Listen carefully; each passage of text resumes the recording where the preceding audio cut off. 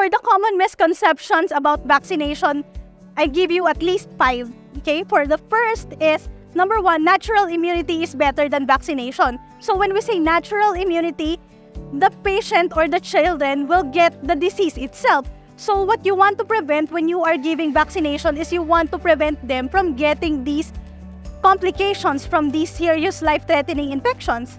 Number two is that vaccines are ineffective. Okay, vaccines are not ineffective because it is proven based on studies that it spared several million deaths from these vaccine preventable diseases. So it also they also say that vaccines can cause autism, particularly MMR. So there was one study published in 1998 which claimed that MMR is related with autism.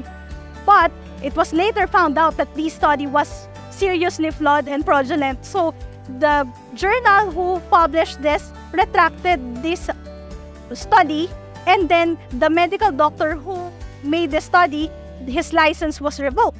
So it is important for us as pediatricians or as doctors to share reliable and trustworthy information, especially to uh, the parents of our patient.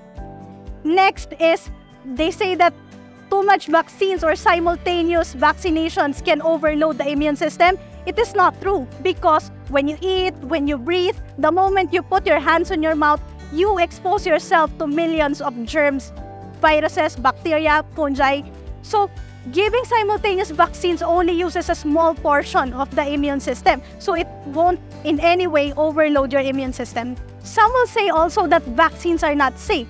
So, in terms of safety of vaccines, before being out in the market, vaccines have undergone several clinical trials and even after it is introduced in the market, Food and Drug Authority, they even do surveillance regarding the adverse effects of these vaccines.